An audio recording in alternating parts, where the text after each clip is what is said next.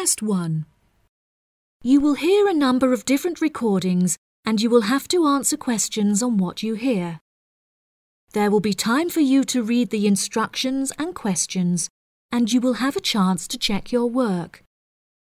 All the recordings will be played once only. The test is in four sections. At the end of the test, you will be given 10 minutes to transfer your answers to an answer sheet. Now turn to Section 1. Section 1. You will hear a man phoning to inquire about hotel information. First, you have some time to look at questions 1 to 4.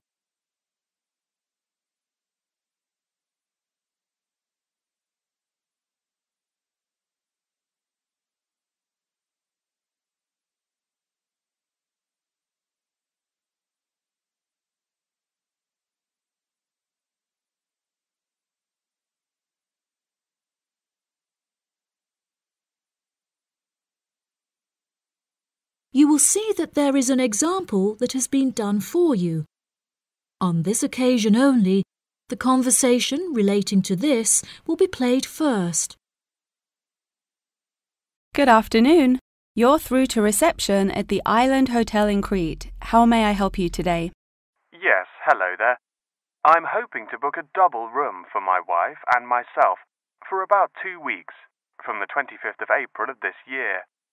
Firstly, could you tell me whether it's particularly hot during this time? The type of room the man requires is a double one, so double has been written in the space. Now we shall begin. You should answer the questions as you listen because you will not hear the recording a second time. Listen carefully and answer questions 1 to 4. Good afternoon. You're through to reception at the Island Hotel in Crete. How may I help you today? Yes, hello there. I'm hoping to book a double room for my wife and myself for about two weeks, from the 25th of April of this year. Firstly, could you tell me whether it's particularly hot during this time? Yes, of course, sir. During late April and early May, the daytime temperature shouldn't exceed 19 degrees Celsius. But the weather has been rather erratic and difficult to predict in recent years, so I am unable to say for certain. Okay, that sounds good. My wife doesn't like going outside when it's very hot. I haven't booked flights yet, but I must say that I'm unfamiliar with Crete and its transport system. Does the hotel provide an airport shuttle service? Yes, sir. We provide a complimentary airport pickup service for all our guests. It takes about 40 minutes to get here from the airport, but it's at least 60 minutes at rush hours. And you will be provided with a fully air conditioned shuttle bus. Okay, excellent. In that case, do you have any rooms available for the dates I gave you? I shall have a look on the system now for you, sir. Bear with me just a moment. Yes, sir. I can see now that we have several rooms available. Would you prefer a garden view or a sea view? Well, ideally, I would like a sea view room with a balcony. But of course, that depends on the difference in price. Not to worry, sir. All of our standard double rooms have ensuite facilities and a balcony. If you would like one of our sea view rooms, there is a premium of 60 euros per night. Okay. So, could you tell me the total nightly rate for a standard double room with a sea view? Yes, of course, sir. For the spring months, our rate is 216 euros per night. For 14 nights altogether, this will come to 3,024 euros. Perfect. I also read on your website that the hotel has gym and spa facilities. Are there any other facilities on offer? Yes, we have a large outdoor infinity pool overlooking the ocean, with luxury sunbeds and a poolside bar. We also have three full size tennis courts, where we run a popular doubles tournament, with the winner receiving two all inclusive spa day vouchers. Goodness, I shall have to brush up on my tennis skills. Before you hear the rest of the conversation, you have some time to look at questions 5 to 10.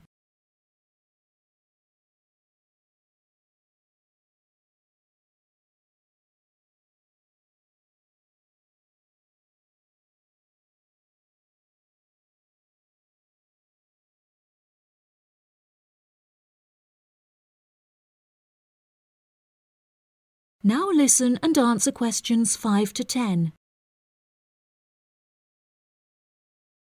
Are there any other activities organised by the hotel that we can partake in? It's just that it's our wedding anniversary on the 30th of June, and I would like to provide my wife with a perfect romantic getaway. I can assure you, sir, that your wife won't be disappointed. Ours is a five star resort which is renowned for its luxury and beauty. In terms of activities, the hotel provides thrice weekly entertainment.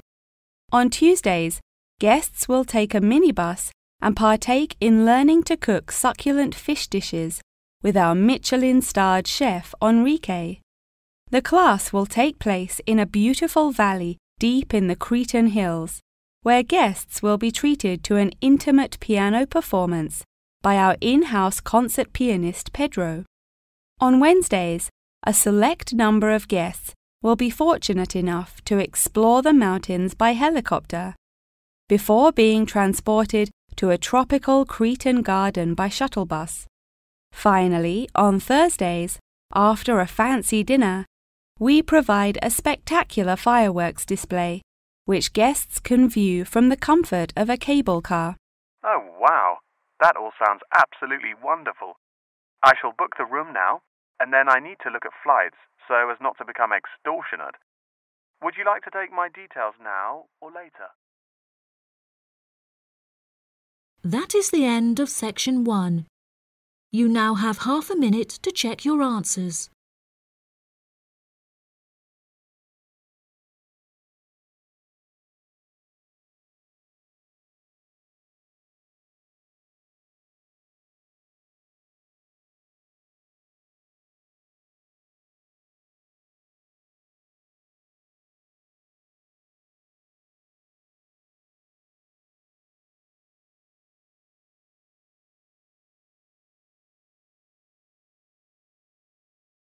Now turn to section 2.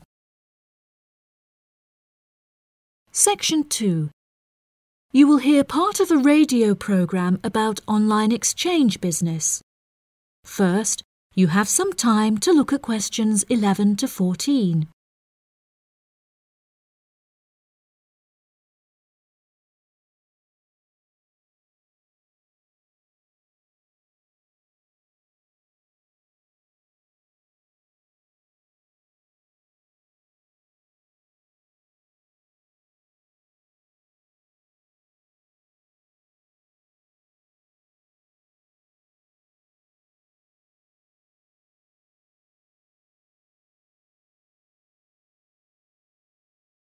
Now listen carefully and answer questions 11 to 14. Barter Online UK is a young up and coming website in the United Kingdom where users can buy new and used goods. However, instead of paying with money, registered users instead exchange their purchase for an item of similar value. This part is perhaps the most complicated as the registered users themselves must mutually decide on an appropriate value, with value either being the recommended retail price, RRP, or simply how much they believe the item to be worth. The website has been founded by a group of four friends in the north of England. Originally, they exchanged their belongings among family members they frequently found themselves swapping their belongings when they no longer had any use for them. They live by the motto, one person's trash is another person's treasure, and hate to throw things away. As more and more people caught wind of the idea and wanted to participate in the exchanges, the group decided that the idea had the potential to become a successful business venture, and so it did. Barter Online UK is a startup online business which took three months to set up and has now been running for around half a year. Despite only being founded a short time ago, the website has already garnered about 1,500 registered users, with 500 more than expected, a huge achievement for the founders. Some of the users are registered in the United Kingdom and Canada, with the majority from the Republic of Ireland. In order to become a registered member, users must first fill in their personal details, followed by their credit or debit card details, which will be used to take payment of a monthly fee of £5. As long as this fee is paid, users will be able to perform an unlimited number of online exchanges. Before you hear the rest of the programme, you have some time to look at questions 15 to 20.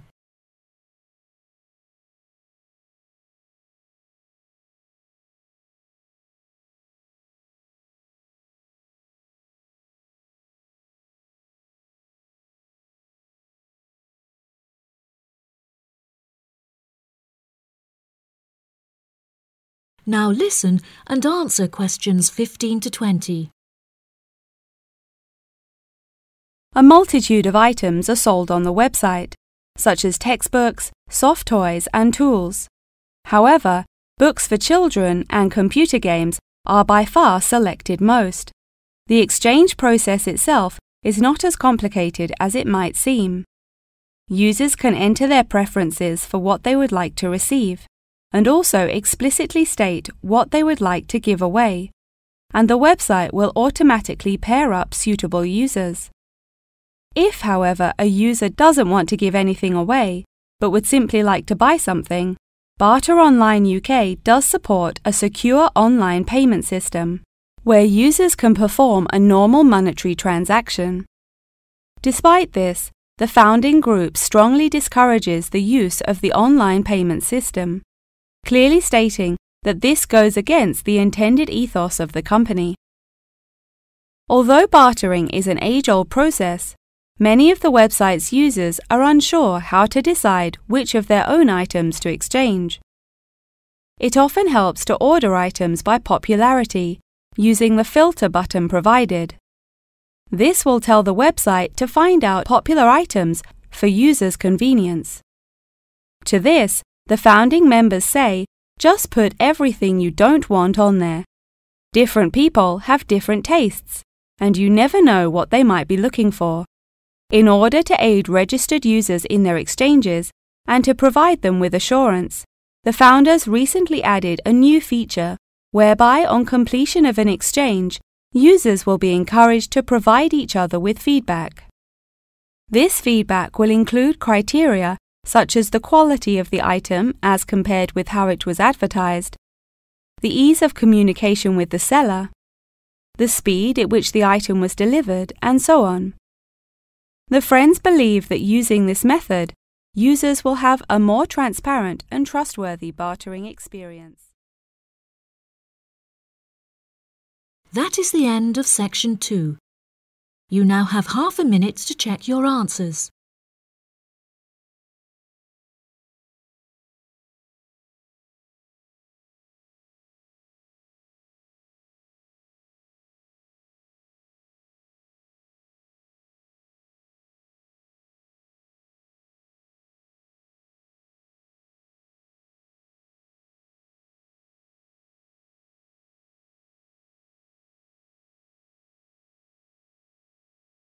Now turn to section 3. Section 3. You will hear Tom and Annie, two students, talking with their professor about the assignment. First, you have some time to look at questions 21 to 26.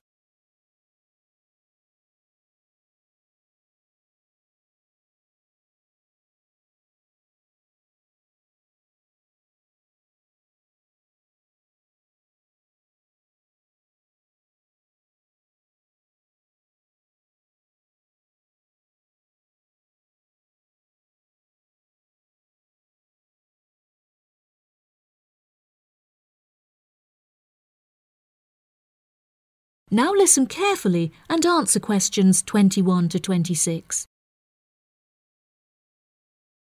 Professor Tomlinson, may Annie and I please quickly ask you a few questions about the reflective journal assignment? It's just that we're a bit confused as to what you want us to include and discuss.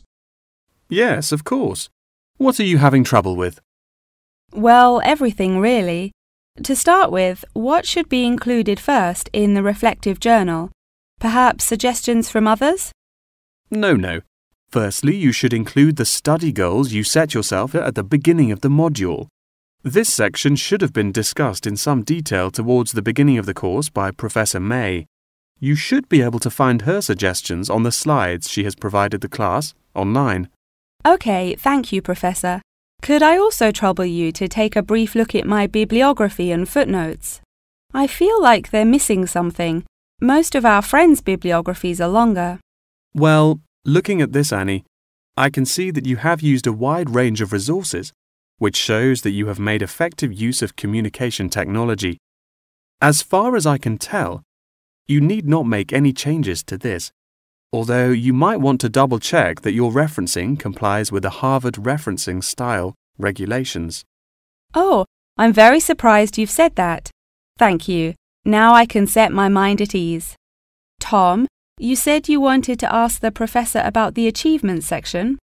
Ah, yes, Professor. In the assignment guidelines, we're asked to introduce and elaborate on our biggest achievement in the past, saying which skills we learned in the process and how these skills can be transferred to various different future careers. The only problem is that I don't know what my greatest achievement actually is. I've only ever worked as a waiter in a hotel restaurant during the summer holidays from university. If you worked as a waiter in a hotel restaurant, you're bound to have worked with other waiters as part of a team. Would you say that during your time as a waiter, you developed any leadership skills? Yes, well, I suppose I was asked to become the team leader of the food and beverage department, but that's hardly an achievement. You might not think so, but if you write that you were offered the position of the team leader, it shows a lot more about your character.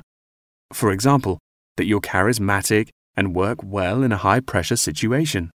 I never would have thought to write that down. Thank you. I guess I should start listening to others more often. Annie, do you have any more questions, or are you ready to go back to the library? Yeah, I think I've got everything I need. Thank you very much, Professor Tomlinson. That was really helpful. I'm actually starting to look forward to writing this now, and it should be a really useful exercise to prepare us for writing CVs and applying for jobs. It's shocking how bad I am at identifying my strengths and weaknesses. Professor Tomlinson has shown me that I definitely need to start displaying some self awareness. Yeah, Tom, you really do. You're always so modest. Modesty is great until it comes to applying for jobs. Before you hear the rest of the conversation, you have some time to look at questions 27 to 30.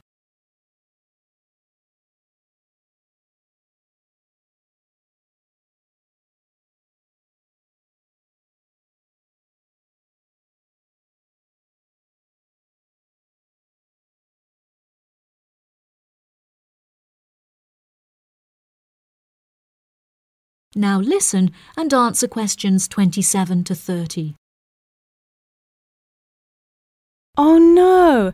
I forgot to ask the professor about the section on identifying the skills gained through different activities. Do you remember? When it asks you, for example, whether writing an essay develops your study skills or your independent learning and so on. Oh goodness, we really should have asked him that. I've been having trouble with it too. It just seems like such a pointless task. What do you reckon the answers are? Hmm, I think writing an essay might be a way of identifying and resolving a problem, because you have to state the problem in the introduction and then solve it. I'm not so sure about taking exams. I thought they were supposed to develop lots of different skill sets. If I really had to choose, I'd say that taking exams enables you to become more confident in yourself. Do you agree? Maybe. I really don't know either. What do you think about the last two? Making class notes and presentation notes? Oh, it's so difficult. I think making class notes has to be a way of becoming a more independent learner, because you yourself decide what the important information is and learn it. That reminds me, I find taking presentation notes is a disaster. The professors speak much too quickly, and I write much too slowly. That is the end of section 3. You now have half a minute to check your answers.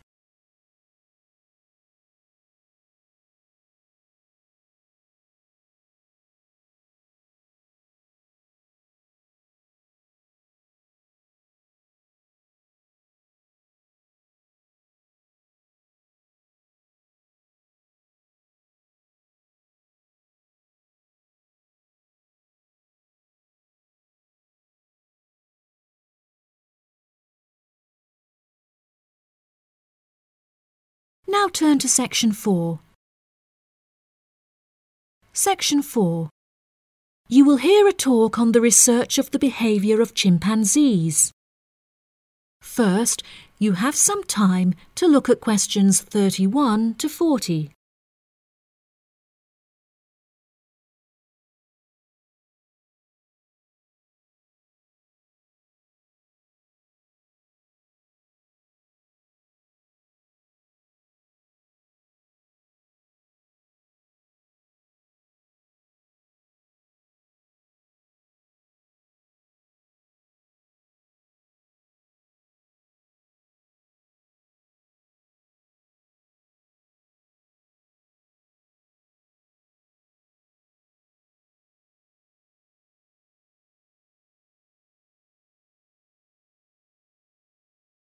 Now listen carefully and answer questions 31 to 40.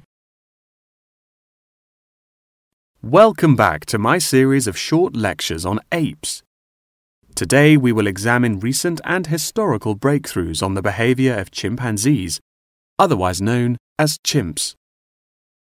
The word chimpanzee is an umbrella term for two different species of apes in the genus Pan, which are the common chimpanzee or pan troglodytes found in West and Central Africa, and the bonobo, or Pan paniscus, which are found in the forests of the Democratic Republic of the Congo.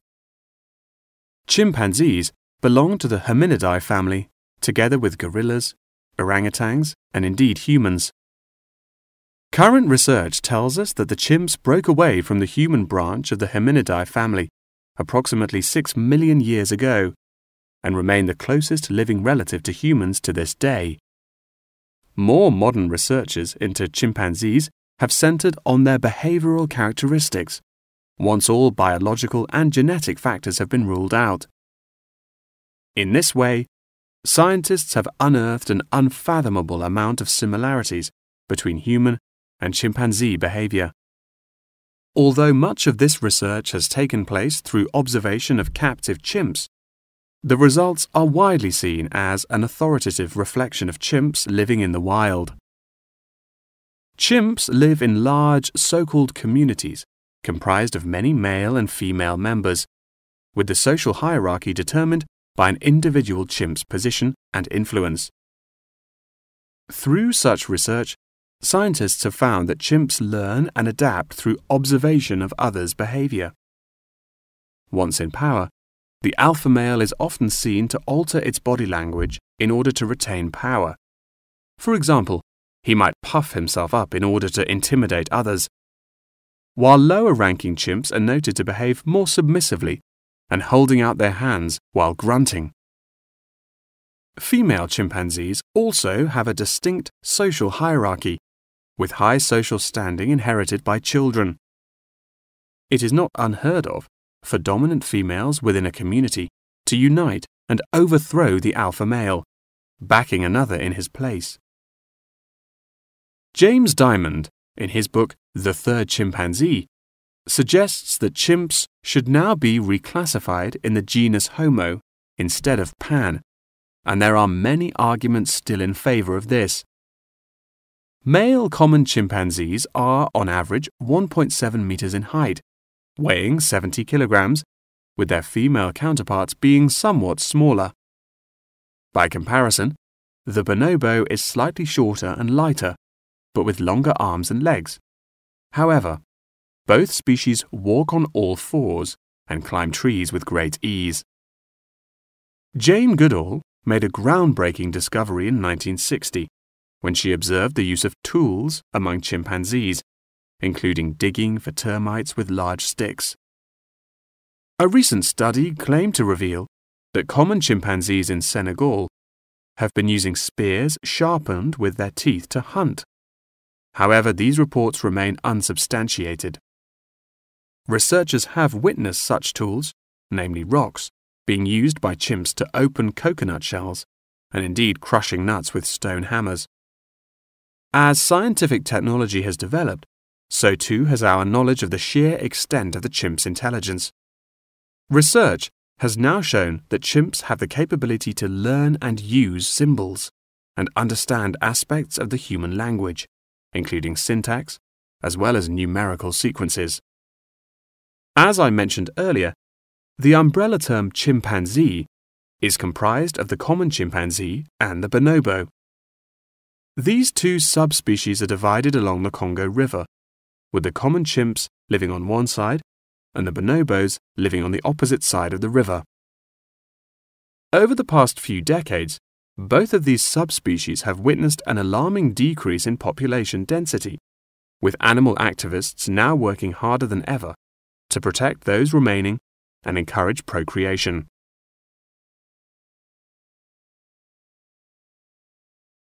In addition, next week's episode will focus more closely on how chimpanzees in captivity are able to learn things through imitating the behavior of humans, as well as how chimpanzees' behaviors have developed over many generations. Thank you very much for attending this evening's lecture. I hope you found it intellectually stimulating, and I look forward to seeing you again next week. Good night. That is the end of section 4. You now have half a minute to check your answers.